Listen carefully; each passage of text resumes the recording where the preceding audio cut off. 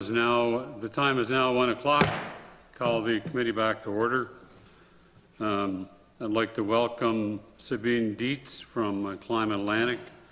She's the executive director. Um, Ms. Dietz, the way we'll function is you'll have uh, 20 minutes to make your presentation, uh, followed by which we'll go through uh, 40 minutes of questions, 10 minutes from uh, each party. Um, so with that being said, uh, the floor is now yours. Thank you, Mr. Chair. Uh, merci beaucoup. Uh, thank you very much for inviting me to speak today to the committee. Um, I have provided all of you with a slide deck and I'll follow this up with more detailed notes after the presentation. Je vais faire ma présentation en anglais, mais je suis certainement capable de répondre en français si vous avez des questions en français. And I will simply um, speak to the number of slides that slide that I'm on, and I note, note that the note deck that I provided doesn't have the correct slide number, so I'm hoping that you can still follow along. Um, so slide number two, I'll just briefly explain what Climate Atlantic is. Uh, Jeff Hoyt already mentioned Climate Atlantic this morning in his presentation.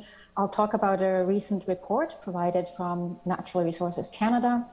I'll talk a bit about why adaptation is so important, and then I'll spend most of my time on some recommendations on what I think should be in the revised climate change action plan that you're deliberating on. Slide number three, please.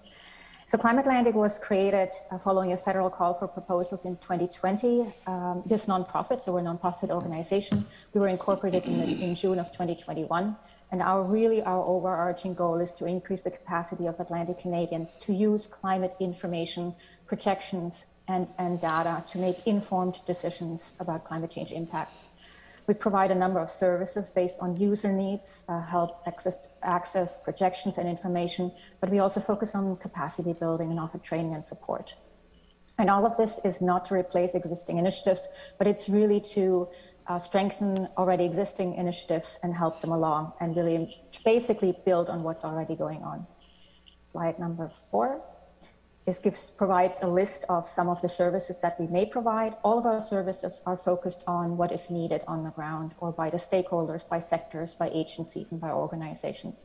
That, that could include, it does include our website that's already live. It could include curated access to information, resources, and projections. Uh, we identify needs across the region, what is needed to make better, better decisions based on climate change information. Slide number 5 mm -hmm. So going just briefly to the regional report on uh, the regional perspectives report that was just published in December uh, by Natural Resources Canada. I was one of the co-lead authors on this report, and there's no no surprise. It's not really about impacts um, or greenhouse gas emissions. It is really focused on adaptation action that has been going on in Atlantic Canada in a very concerted effort. There's, it's not, not a surprise um, that coastal um, issues are very high, uh, very highlighted, very much highlighted in this, in this report. But so are health risks, indigenous perspectives, the challenges our, our resource economies face, and the approach to building uh, adaptive, adaptive capacity, something that uh, Mr. Hoyt mentioned this morning as well, the need to build capacity to actually respond to those um, impacts. Next slide, please. And all of us know in all regions, and I've looked up uh, where the committee members are located in the province, all of, all of you have experienced some sort of climate change impacts, whether it is the St. John River floods in 2018, 2019, the continued threat from those rivers, the ice storm on the Acadian Peninsula in 2017, or the leftovers from, from the Hurricane Dorian on the southeastern shore in 2019. So, um, and then small events like droughts in my own area in, in Memramcook Tantramar in 2020. And then when thinking about what's to come, we just have to look at the massive floods and impacts that BC has seen. Now, we may not see the same kind of fire problems, wildfire problems, but we are at risk of similar um, precipitation events as BC has seen. And then, of course, more close to home, the road damages in Cape Breton and in Newfoundland Labrador, where the Trans Canada Highway was actually cut off for, for a certain, num certain number of days. Next slide. So the report, um, I just want to make sure this report is just a snapshot in time. And if you do go there and read it, um, and the link is provided in my slide deck, um, it refers to anything going on before 2019. Um, very few updates after that because it takes a lot of time to review, expert review from um, external external reviews, etc. Um, so it's a snapshot in time, and even since then, there's been a lot happening. That's not included in the report. So all provinces, including New Brunswick, is really active on adaptation. But I should also highlight that since then, last summer in 2021, the most recent uh, international report on climate change was published. The International Panel on the IPCC International Panel on Climate Change in its sixth report very clearly stated that some of those um, some of those impacts that we will be seeing are uh, they're irreversible and they will stay with us uh, for, for, for a long time, millennia. And uh, one of them is global sea level rise. So, having said that, um, these reports, the International Panel on Climate Change reports, are always very conservative. That means they don't look really, they don't give you the worst case. They, they basically present what they can, what they want to say with almost, you know, with pretty much certainty. So, in that sense, adaptation is absolutely crucial and it has to be a priority. We're facing impacts, we're facing hazards that we need to deal with. Next slide, please. And so I want to look just briefly back on, from my perspective, having been having worked in the province on adaptation since 2010, so for quite a while. Um, since the plan came in, your, your, your, the current plan or the um, expired plan came into action, um, was was was started to be implemented. There were 39 of the 118 actions that were um, focusing on adaptation or had adaptation com components. So not very many um, the ETF and the Environmental Trust Fund and the Climate Action Fund. And I've just looked at the last two years of information that was published. Only 30% of the funding was spent on adaptation. Um, I understand that. Um, adaptation is not as sexy as electric cars, not as sexy as um, solar panels, and there's no clear win. There is no win where we can say we've reduced greenhouse gas emissions by so and so many tons. Um, so it is a hard, a hard thing to measure, but we do know the impacts can be severe. It's also complex. Adaptation is complex, and it's often closely tied to many other climate actions. So, in some cases, mitigation, mitigation actions, so reducing greenhouse gas emissions, is linked to adaptation. I'll get back to that a little bit. But really, we don't have a choice. Um, adaptation work needs to be scaled up significantly. We need to better understand the risks, um, better understand adaptation actions that make sense in the future and today. Uh, we need to mainstream it across all sectors, all institutions, and everywhere. So, so to really make headway with decisions on uh, with with decreasing our risk, the focus needs to be on making all systems and people stronger, more able to withstand impacts. That's really what resilience is, and that also includes paying attention to nature. Now, in terms of risk management, just referring to COVID, we've learned a lot about how we look at risk, how we manage risk, what our risk tolerance is, and that can be, in my opinion, applied to how we deal with uh, climate impacts. Next slide, please. So in our role at, as Climb Atlantic, um, we look at across the region at the needs, uh, grassroots needs. And when I say grassroots needs, I really mean everybody that's working on climate change um, adaptation. So on, on, on dealing with the impacts. And they're really pretty much the same. Um, there's always a need for provincial leadership, and this is not a surprise when it comes to regulations or to directions and directives adaptation can be very ex- expensive. And I put there can be very expensive. Um, most of the real significant adaptation actions that we need to take are really expensive. So, for example, removing sewage treatment uh, facilities out of floodplains, that's millions of dollars per facility. There's a lot of infrastructure investment that is needed to reduce risk. Capacity in our region, although I know Mr. Hoyt mentioned that we've got quite significant capacity in some areas, I would still argue that the capacity is very limited. Um, we lack the people. We, well, we don't lack people overall, but we lack increased number of people, um, better knowledge and literacy around climate risk and adaptation. And there are a lot of investments that are also needed to build, a, build up capacity continuously. Uh, most, most, most of us in the space recognize the advantages of collaboration, but lots remains to be done to break down silos. While we know a lot about impacts, there's so much we don't yet fully understand. What are the impacts to habitats and species on our fisheries sector, on aquaculture in the long term? We always lag behind. It seems we never have access to the most relevant, accurate, and up-to-date information. And if it is, if this is accessible, it's often not in easily understandable formats. And I think all of us have come across that graphs or reports that you need an interpreter to actually go through. I already mentioned the lack of literacy around the impacts from climate change. What is the risk? What is resiliency? How do we increase it? And what, what are the adapt- adaptation options that we have? And last, something that I've heard more and more uh, expressed is the need to link mitigation or the need to reduce greenhouse gas, gas emissions with adaptations. Those are silos that are often not useful and certainly not in municipalities. It's not an either or, whether we prioritize one over the other. Both are absolutely essential. Next slide, please. So this is where I want to spend a bit of time in my presentation on the recommendations that um, I would like to bring forward to the committee uh, to be included in the revised plan. Um, and I think Mr. Hoyt also mentioned it this morning, a provincial risk assessment, something that is either underway or has been done in other provinces. So we've done a lot of, New Brunswick has done a lot of local risk, risk assessments or risk assessments for certain sectors. So municipalities, a lot of municipalities have, have, have adaptation plans. That means that they have also done some sort of risk assessment to their infrastructure and, and, and community. There's some sectoral ones. But as a province, we have no comprehensive description or overview of where our risks lie. We know our Northumberland Strait coastline is at very high risk from coastal flooding and storm surges. What about drought? What about post-tropical storms? What about the agricultural sector or forestry? A comprehensive risk assessment would help us identify our weak areas and provide clarity and focus while at the same time functioning as an ed- educational tool within government and outside. And this educational tool idea I've seen actually happening currently in Nova Scotia. That's exactly what is happening. A lot of education internally in government through a risk assessment process that they've been undertaking. The adaptation strategy. So again, many adaptation plans have been developed, especially in New Brunswick municipalities, and I congratulate the government on that, on supporting those and supporting that capacity and increased understanding and increased um, action on, on adaptation. That's great.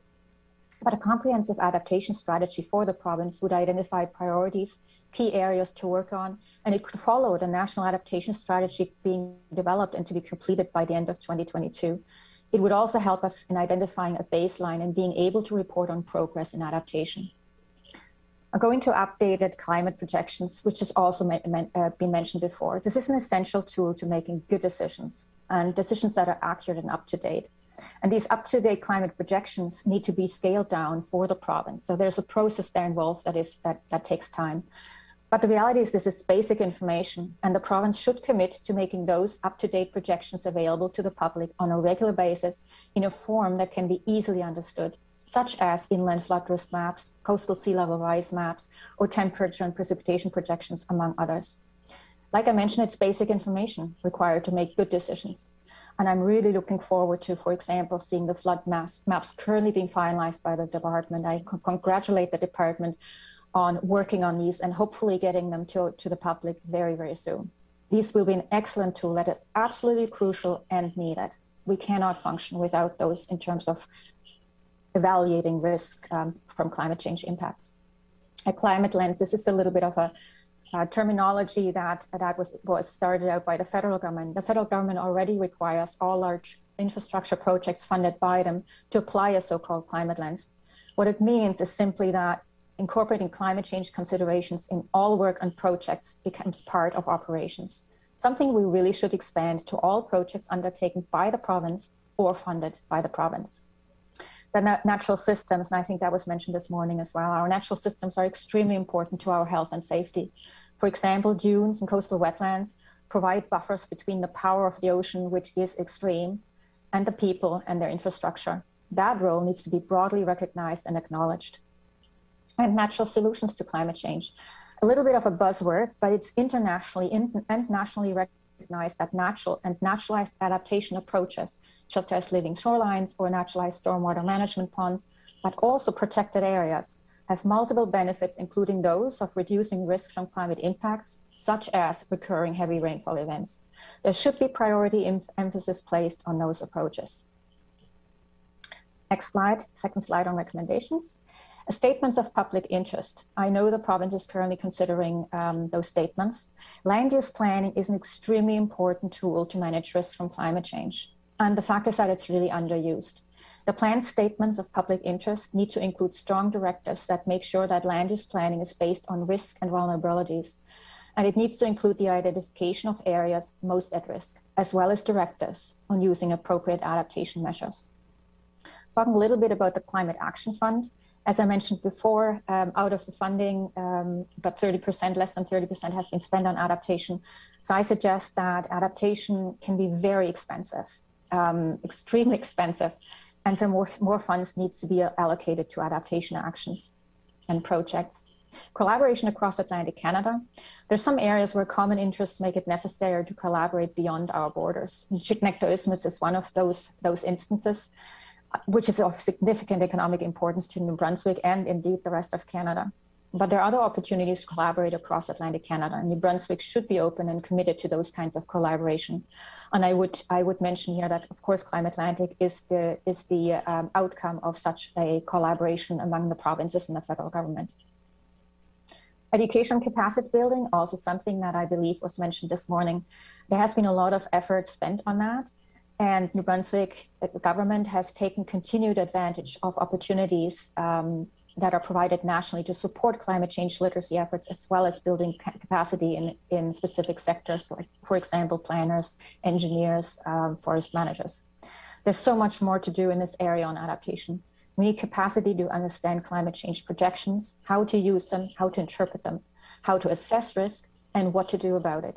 Education capacity building for grassroots adaptation practitioners including, for example, municipalities, nonprofit organizations, and others, will need to remain a high priority. And in terms of high risk areas, so we have specific areas that are at high risk from climate change impacts, um, such as from flooding, erosion, and those need to be identified as high risk. We've got to be straightforward on this. We have to find a way of identifying those high risk areas, and development in those areas should no longer be permitted.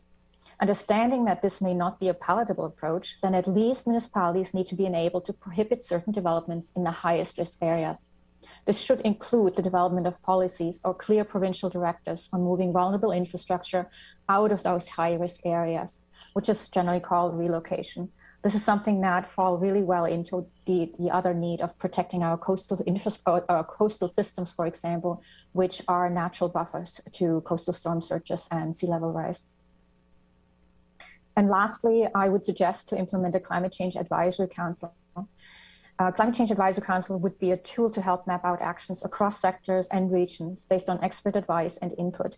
These advisory bodies have proven themselves in the past and pl- can play a critical role in, role in helping to identify priorities, test ideas, use the brain power of our province has, and making sure there is broad buy-in for actions. And that's all. That's the presentation um, and I welcome questions. Thank you. Thank you very much. Uh, we will now move to our uh, question component. Uh, each party again has uh, 10 minutes, and uh, we'll start with the official opposition. Uh, je ne sais pas qui va commencer. Madame Landry, vous avez la parole.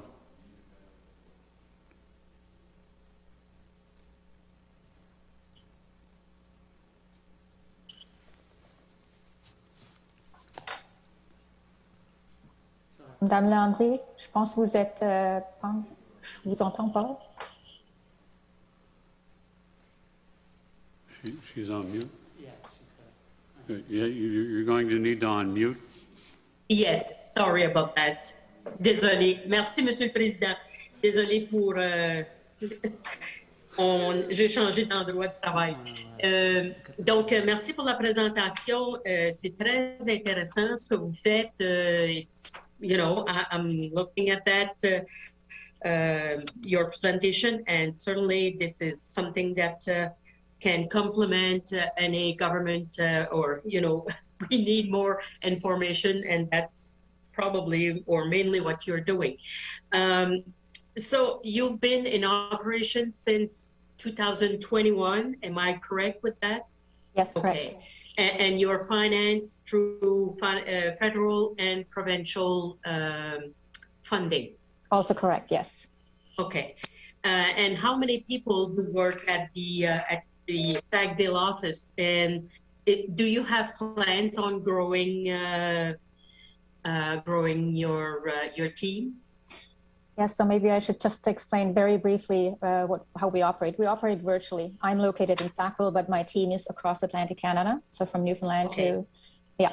Um, we're we're currently a team of eight. We're going to grow it to at least eight, to at least two more, or one or three more.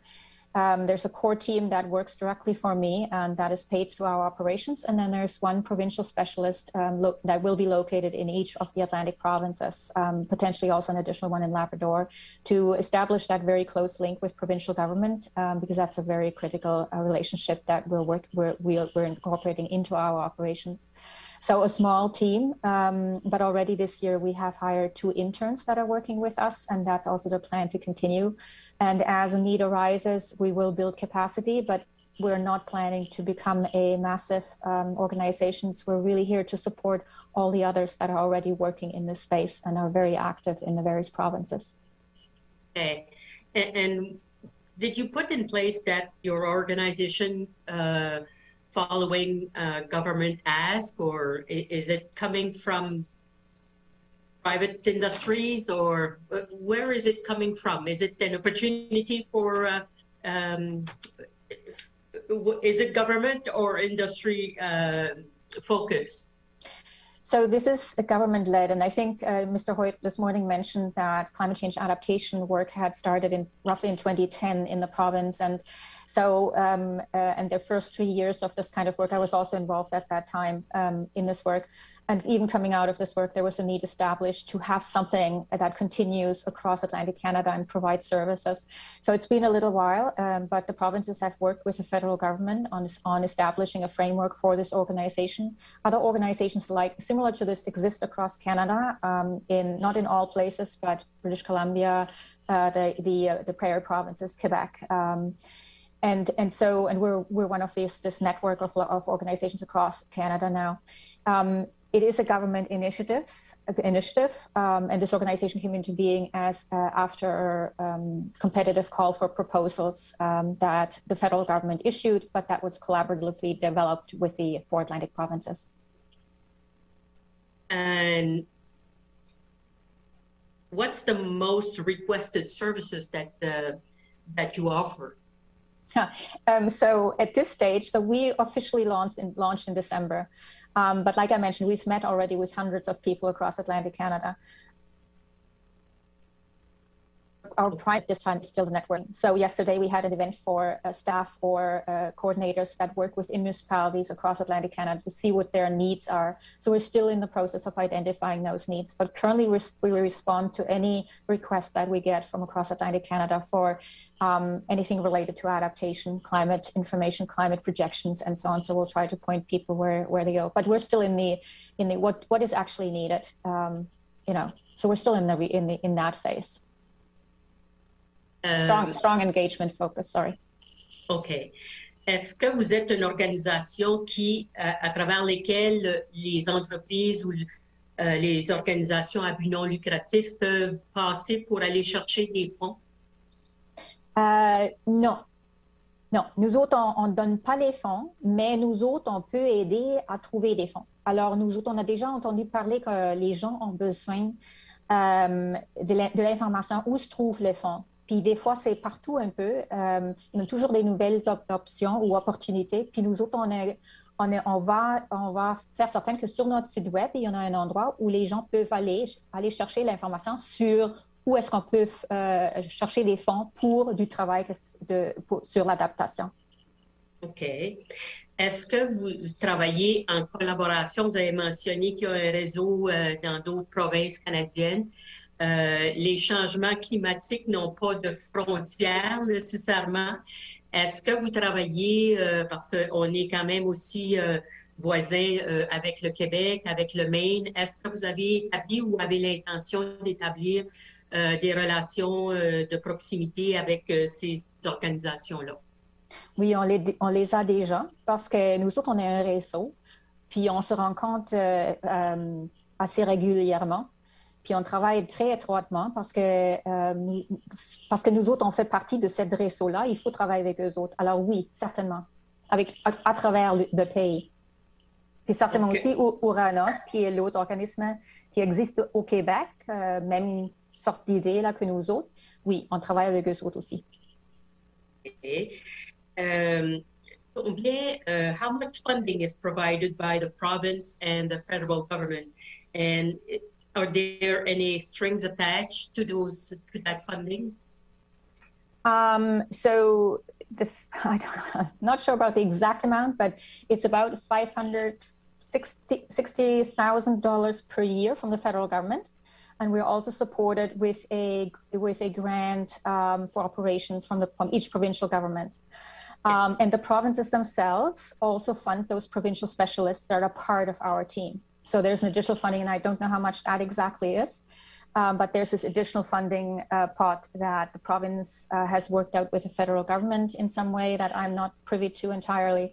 But yes, so definitely funded by both. And that funding is guaranteed until for the next uh, almost three years. And uh, on the recommendation sides that you're providing us, um, what would be your three top priorities? I didn't see that one coming. Um, you know, it, it's that that's a tough question. It really is a tough question. Um, you know, I've thrown in, I haven't thrown in. I really thought about this very carefully. The um, the adaptation strategy and adaptation plan.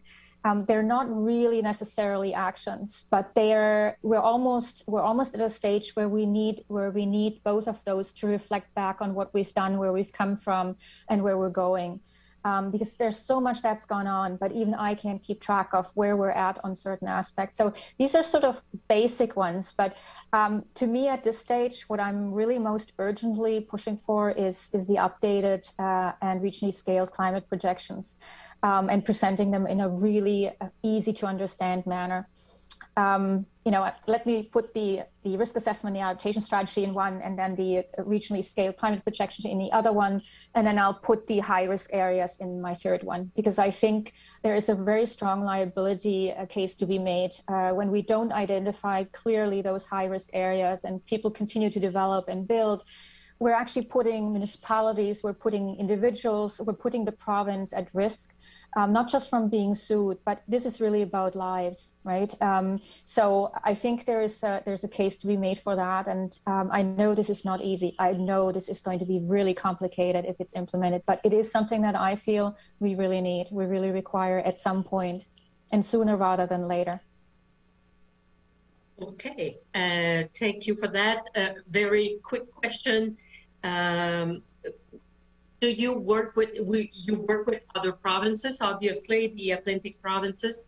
Is there is that equally distributed? Uh, the time uh, that you spend on each of the provinces, or is I don't know how to say that. Since everybody's putting in some money, um, do you allocate uh, uh your time on on the base of uh, the money that they allocate to your organization?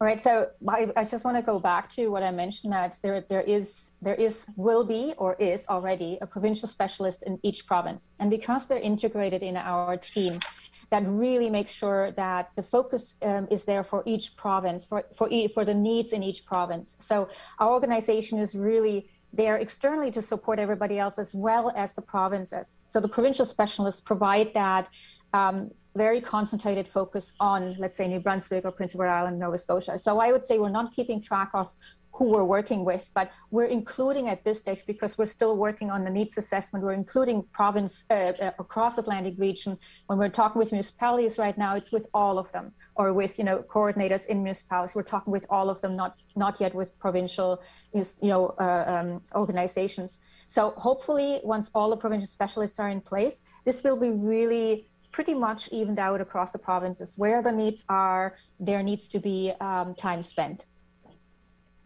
Thank you very much. You're welcome. Passez, uh, Monsieur Coon, vous avez 10 minutes.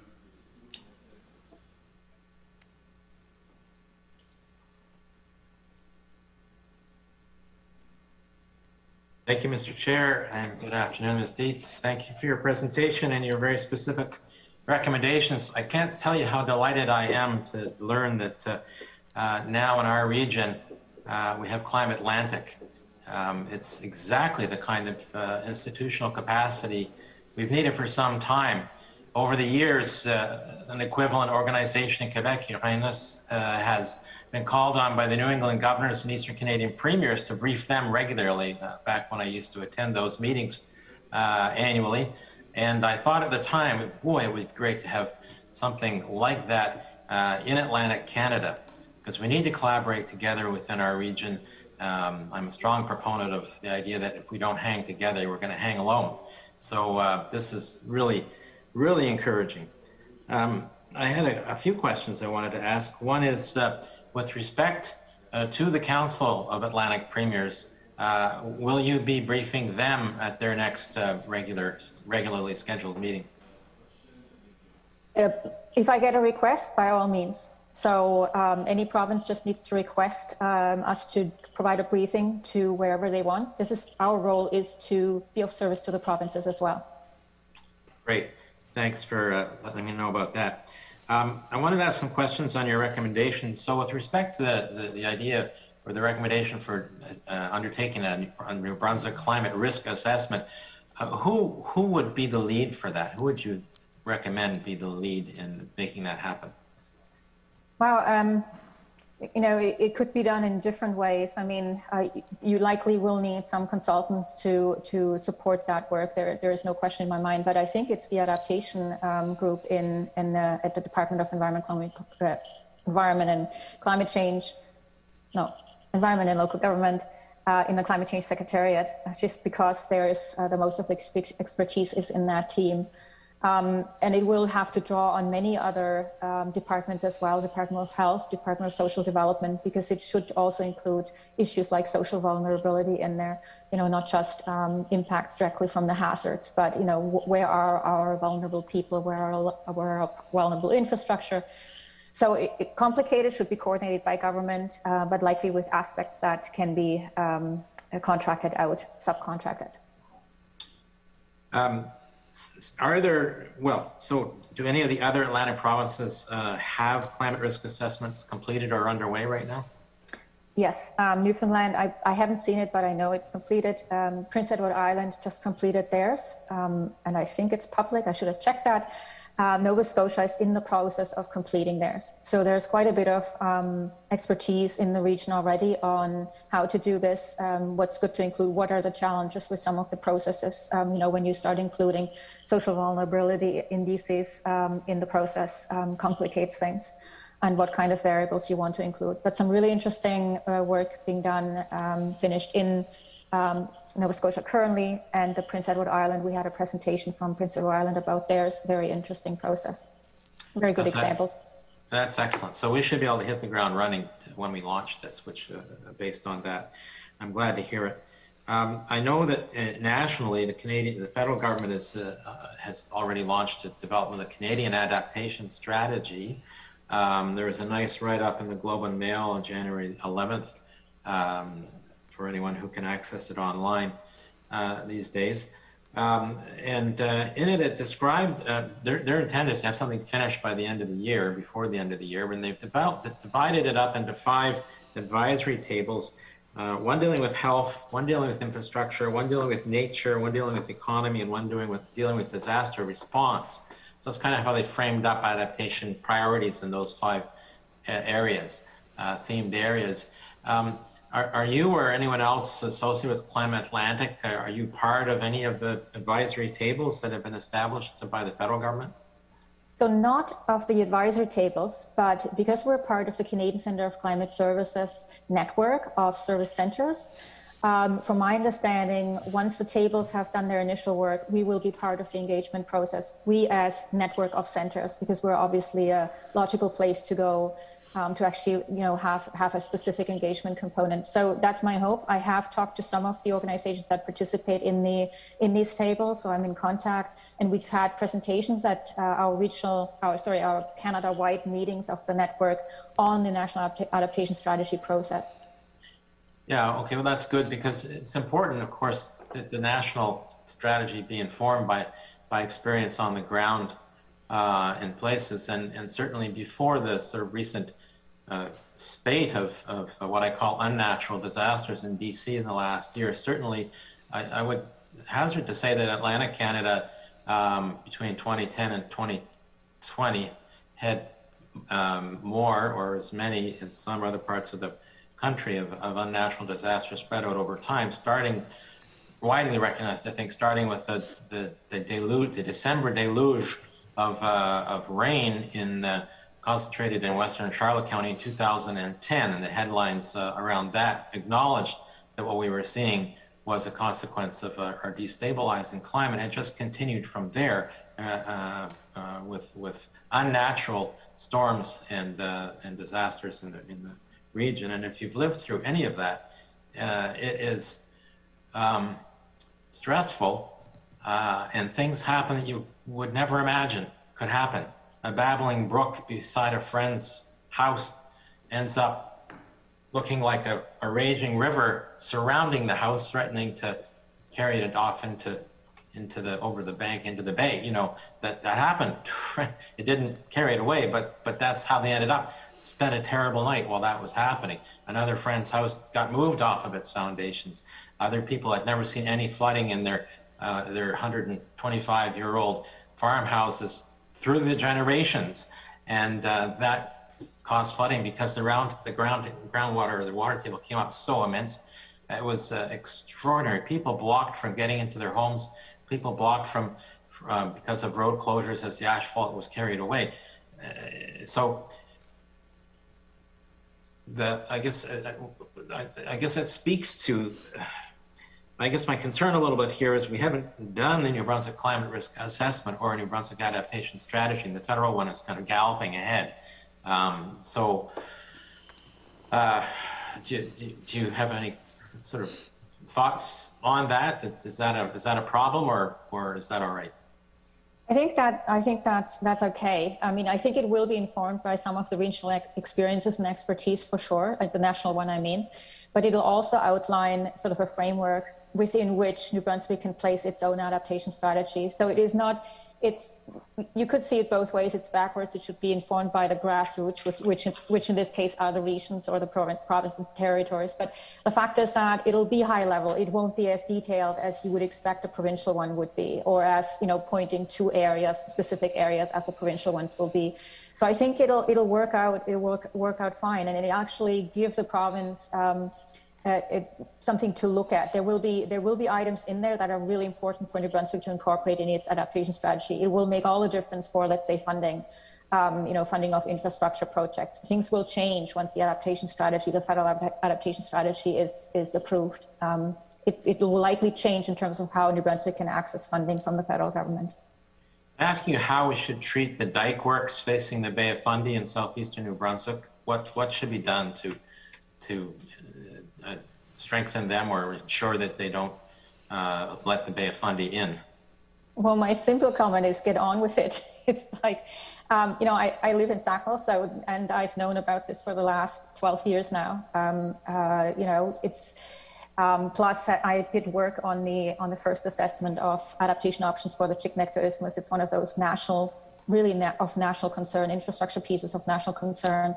So um, there's a lot of work that will need to be done. This is this is millions and millions of dollars that that you know 50 million go across there. I think on a daily basis, but it's millions and millions of dollars of investment that that need to be um, put here, put put in that region in, into the dikes, one way or another, whatever the options are. So my my point is, it's urgent. Get on with it. Um, all of those large infrastructure pieces, uh, transportation infrastructure, they need to be looked at as a priority, especially if they link Canada to or provinces to other areas in Canada. We've seen what supply chain interruptions can do. We, we are, we're currently already living them. So that's my comment. Well, thanks. That that makes me think. I hope I hope that what flows out of the national adaptation strategy is a pan-Canadian uh, plan that includes federal provincial funding arrangements, because the the scale of the the investments are going to be large, um, but absolutely necessary and urgent, uh, as we've seen already in New Brunswick, given the damage that, that's occurred so far. And that's, um, that's nothing like what we uh, scientists predict we're going to see in the future. So um, I, finally, I want to ask you about the Climate Change Fund. And uh, um, in terms of adapt adaptation, do you see a way of, I'm not going to ask for your priorities, but how to frame up the priorities? What, what kind of lens should be used to to prioritize funding from the Climate Change Fund for adaptation? Yeah, I think we're, so I- should maybe mention, so in, from the Environmental Trust Fund, a lot of funding has gone into the capacity building piece. So, you know, to nonprofit organizations, to municipalities and so on, which is great, great, which are the smaller non-infrastructure pieces. But the Climate Action Fund, uh, yes, Action Fund um, has the opportunity of uh, doing some, some pilot work, some larger pilot work that currently can't be done. And some municipalities have already done some of this pilot work on their own and it's really complicated. And I think you'll hear from Sackville later on today, from the CEO from Sackville about that. It's really complicated, really expensive. But these kind of things need to happen. We need to figure out how we can do those things better, what kind of things actually make sense. And the Climate Action Fund, I think, is an opportunity to invest in those. Um, um, you know, there's so much to be invested in. You'll never, currently, you don't have the funding to cover all the infrastructure investments that are required across the province to make them climate uh, resilient or climate safe or withstand the climate impacts. It's just not their money is not there. So focus on at least the high risk areas or the areas in infrastructure that we know we need to figure out what to do with it as a priority. And as you said, the climate Thank risk you, assessment will Mr. help Coon. That, identify uh, con- that concludes your time. Mr. Austin, nice to see you. Uh, The floor is yours. You have 10 minutes. Thank you, uh, Mr. Chair, and I want to uh, uh, thank you, uh, Ms. Dietz, for being here and presenting um, on behalf of the Climate Atlantic uh, organization. Um, in the um information from from what uh, has been presented, I know there's a lot of discussion, uh, or I guess um, data that you deal with in relation to flooding and storm surges, erosion, drought, low water levels, etc.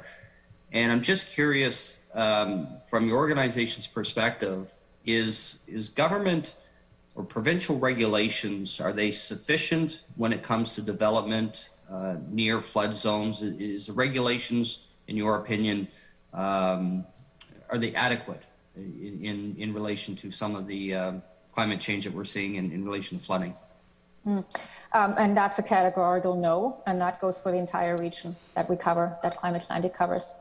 Um, so th- there are there there are pieces I think um, where um, you have two sides to the to, to the to the picture here. You've got um, regulations that could directly prohibit, and I mentioned that that could directly prohibit building in flood risk areas. You know, the flood zones, the flood plains, um, coastal areas, and so on. You could implement regulations. This is usually a really hard thing to do, or you could enable municipalities and and, or, and communities to actually prohibit this. Um, but currently, um, I'm sorry, but the we build in high risk areas, and even if we have development restrictions on those high risk areas, you know, we say you can build higher, you can be, build on stilts in flood risk areas. That is not sufficient. You're still putting people at risk. Um, so I think um, this is a little bit a, a, um, a chicken and an egg thing because you know I mentioned that and that education is still needed and literacy is still needed about risk because when we talk to people about risk, well, are you really they may be really aware. Yeah, I'm building in an area that I've seen the maps. Um, you know, there is a risk in uh, of a certain level of frequency of a storm surge. I'm just going to build on stilts. Um, it, that is a limited level of understanding of risk, and it's a very high risk tolerance. But I'm not even sure that people who do this who still build as individuals in there understand um, the risk that's, that that they're actually in and they're putting others in as well. And i'm saying sure you can you can decide for yourselves that you don't want to wear a mask when you go out in the in the in the you know this discussion that we've had with covid. You don't want to wear a mask when you go out in the store in the store uh, and you put yourself at risk. But the reality is we all know you're not just putting yourselves at risk. So the same thing goes for flood risk areas. If I build in a flood risk area on stilts, I may be safe through some sort of flood event. Not all of them by any means, and there could be different kinds that no, this is not going to work. But I maybe feel safe enough, and yet I have to get the first responders out to my place when I'm isolated in a flood event putting their lives at risk, their health at risk, right? Um, putting my own my own health at risk, um, and others through maybe a septic field that I have under in the ground that maybe um, you know uh, putting uh, septic um, fluid out in the water that's surrounding my building. So it's not a simple conversation. It's not a simple understanding of risk, and so regulations I consider they're needed when you just can't get people to the point where their risk assessment is correct for all of us, for municipal governments and for provincial governments and federal governments, a big part of functioning is risk, is risk management. And so I think this is a really there is a really a need for concerted conversations around risk management around high risk areas in our province, areas that um, maybe in some you need to entirely prohibit development, and that's a level of you know political comfort. But it is, in my mind, we need to put political comfort or political um, questions aside and really think about risk as risk to lives, risk to the public, risk to others, risk to infrastructure, instead of thinking, well, we shouldn't do that because we may lose tax dollars, which is, I have heard, and this is the same across Atlantic Canada, it's often a consideration that's first in mind. And it's not risk that's first in mind when we look at um, managing development in high risk areas. I, I appreciate that. I, I know, um, and I've said earlier that uh, my writing of uh, Fredericton Grand Lake uh, takes in a lot of high risk uh, flood areas. And I, you know, I was quite involved in the uh, 2018 flood in my area where I saw a lot of the homes that were just devastated. And uh, looking back, a lot of those people, I think, on their own have uh, changed course. You know, if we're talking about a cottage, instead of rebuilding a cottage, they simply bought a, a fifth wheel trailer and they'll put that in, take it out in the fall, put it back in the spring type of thing and to, to mitigate some of their own personal risk with that. Uh, but on the other hand, I see other places where they simply done like you said, they put them on stilts or they've built up uh, to try to mitigate some of the effects. Um, and and I would suspect there would be a considerable difference between uh, the risk associated with coastal areas uh, in relation to the ocean versus risk associated with uh, you know areas around lakes. Is, is, there is there a significant change between the two in terms of development and what regulation should be put in place for those? Um, so I, I I probably wouldn't distinguish between coastal or inland because you know when you think back about there and I, again I don't remember the year because like uh, Mr. Coon has has mentioned there have been so many events and there have been so many events across Atlantic Canada but Badger Newfoundland at some point in the past experienced a rain uh, event in the winter and everything froze up. So you got houses that were flooded and then they were frozen up right immediately. So there were pictures of, of cars in, you know, halfway covered, so basically iced in. So I wouldn't say necessarily there's a difference between coastal and inland, but there's a difference between the uses that you want to um, put in areas of high risk. So if I've got a high risk area um, that that you know I want to have a ball field in, um, or some other such such such uh, development that's really I would say um, low risk to people and infrastructure. If you lose the ball field, if it's underwater or iced up um, for you know even two weeks, as was the case um, in in your area, um, it's not a big deal you do that to a hospital, that's entirely like Fernando, it's an entirely different question. So, and that's why I'm sort of hesitant about the regulations. I think there need to be regulations, but mm, it, it's it's not a matter of some, simply saying no to high risk areas. It's a very nuanced approach to it. It's a nuanced approach in that it depends on what kind of use you want to have of the area, more so than whether it's coastal or inland. So depending on use um, that you're planning to have, agricultural areas, for example, the type that the, the behind the dike lands in the Tantramar area, they can be flooded. They need just some fresh water to wash out the salt, and they'll be good to go again. Um, you know, but if if if there is any further development, um, such as you know the Champlain Place in Moncton is in a floodplain, um, was built in a floodplain. Developments like that are a different matter altogether. That's that; those are high risk areas, right? And high risk, high risk developments. For sure. Yeah. no, that, that makes sense. I, I appreciate that answer. Um, just switching gears a little bit in relation to, um, I know uh, your organization, or I understand your organization deals with flooding, storm surges, erosion, things that, that we, we had discussed earlier. Um, I'm wondering, do do you do any work in relation to uh, forest fires? Like if, if we look at droughts or uh, um, you know uh, other things that would impact whether it's disease or infestations that would re- relate to forest. Does your organization do any work in relation to potential forest fires or data collected from climate and how it may affect forest fires or potential forest fires? Okay, so um, we don't do direct work. When when I refer to what we do, our work is so we've met, for example, with the Canadian Forestry Service in Fredericton um, to discuss well what kind of data sets do they have, what kind of work are they doing, and how can we be of help in making all of that information available. So we're really looking around and saying, well, who has done what, and what is out there that we can actually somehow provide to the end users, the people who actually need it, the organization, agencies, and so on that need it. So one thing that I can give you as an example, one one has been brought up to us is wind, um, the wind regimes, the changing wind regimes, and how will that influence offshore uh, oil and gas production, like the the you know in in Newfoundland, um, or uh, wind regimes changing for the fishing industry or aquaculture industry. So those are things that we're, we're, actually currently, I don't know where, where it is. We, we haven't found, we don't quite know yet. We're looking where those data sets are and who's doing research on what. That's our role. Our role is figuring out what is there, where is it, how can we make it more available, easier accessible, just what I described, you know, easily understandable information. And if something is missing, then we find somebody who does the work to provide that information if, it, if it's really needed. So we will do that work and saying, okay, who's doing research? Can we maybe have a project with that research on figuring out ABC, you know, where it's invasive species or species pests for, for forestry. But I think that work has been, I think, at least partially done. So uh, our work is that intermediary facilitator looking for um, and then being sort of that conduit through which this kind of information can be can go out to whoever needs it. Right. So you you folks collect the data. It's up to each organization to how they use the data to develop policy, regulations, that sort of thing. Correct? We do not collect data. Um, we okay. look for where and who has collected the data, and okay. then we help the user uh, use the data. Thank you uh, very much, Mr. Austin. Okay, members of the government side, uh, Minister Johnson.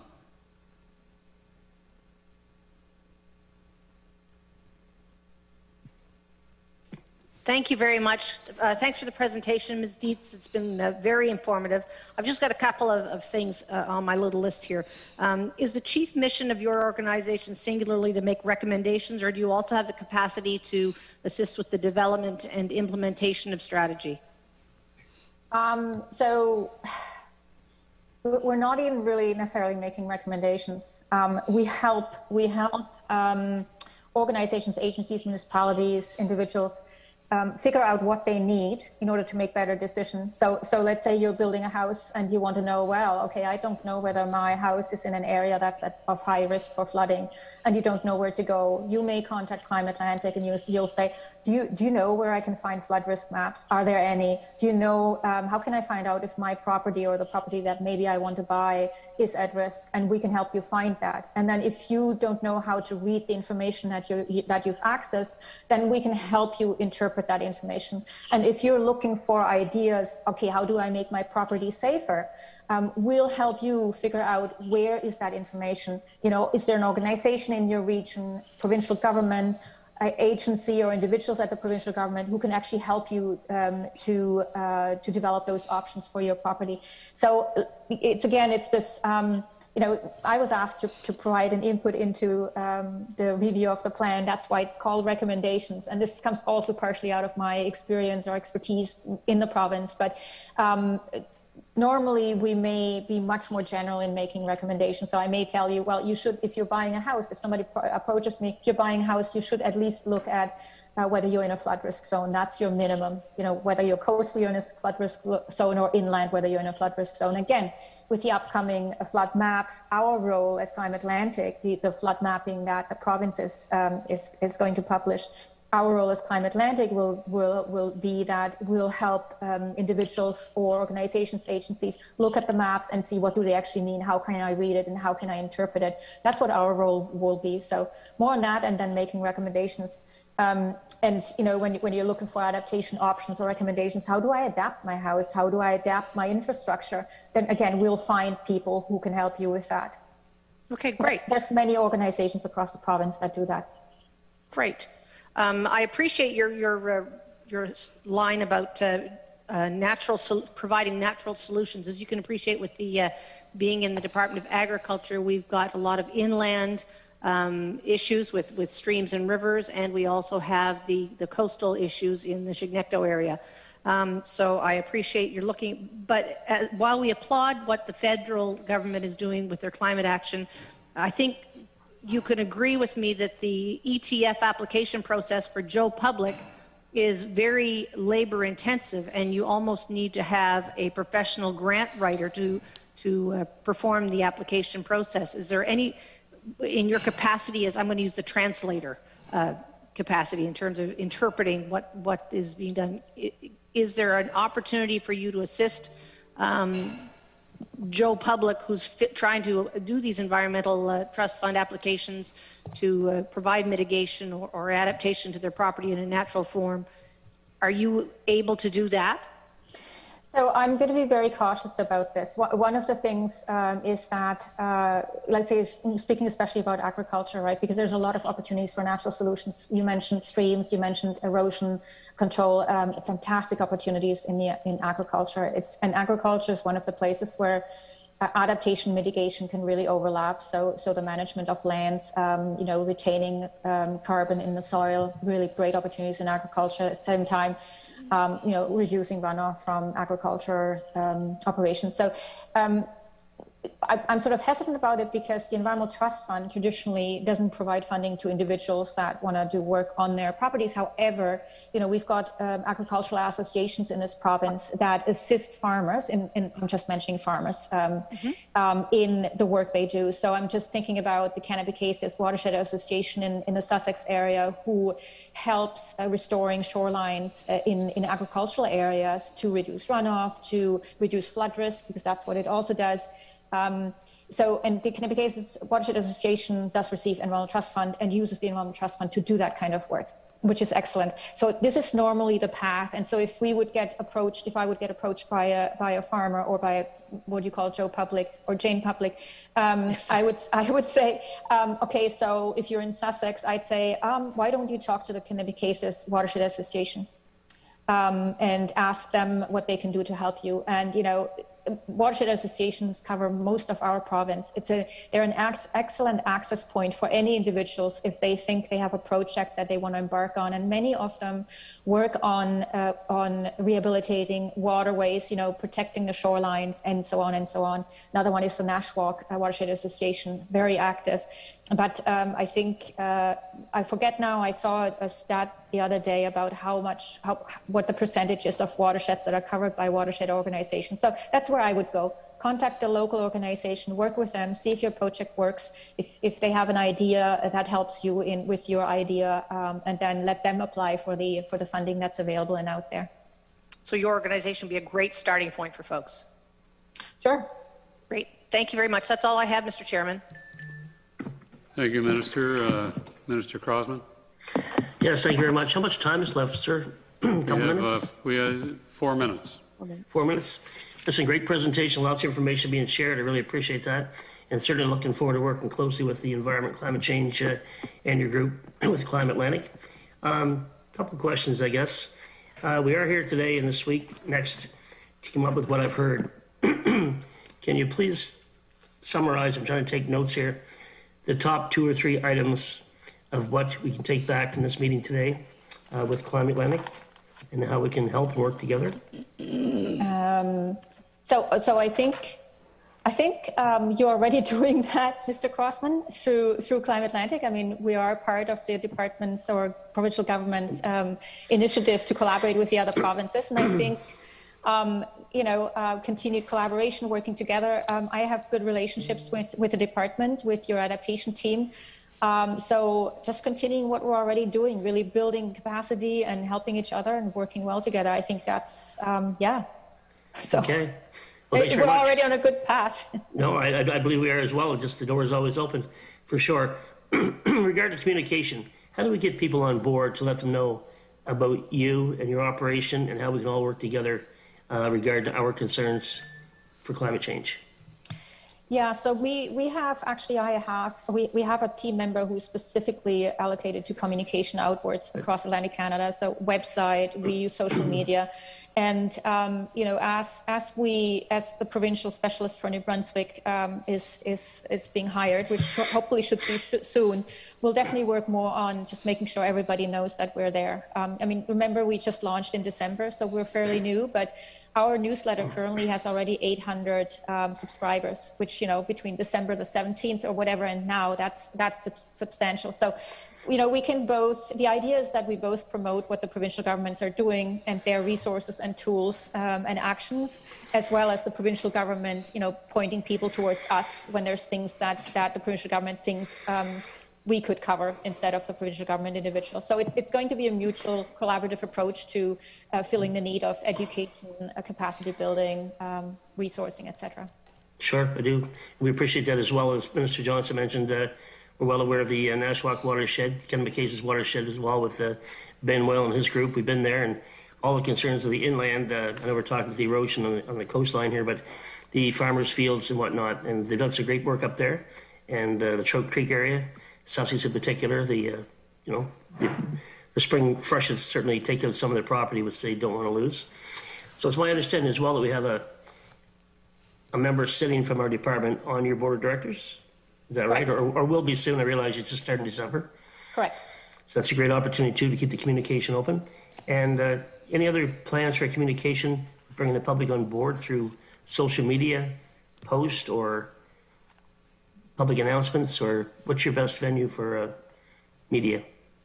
Um, social media, Facebook, Twitter, um, Instagram, um, our website will be the one portal, hopefully, that we'll use. But then, whenever we can do something collaboratively with the government, like the launch was, for example, collaboratively Yeah. organized with the federal government and all provincial governments, then we, you know, we do cross um, the postings, etc. So, so I think there's a lot of opportunity there. Okay. One last note, if there's a minute left here. Uh, what is your final word you'd like to take back today from from this meeting today uh, regarding yes, moving ahead? Yeah, moving ahead, I think take. I know you uh, were. You yeah, mentioned adaptation. Yes, so taking adaptation more seriously and looking at it from a risk management lens and looking at it from um, a a high, high priority because we can't, we cannot not do it. We have to work on it. Okay. Thank you very much. Thank you very much. Uh, Ms. Dietz, I'd uh, allow you any closing comments that you'd like to make.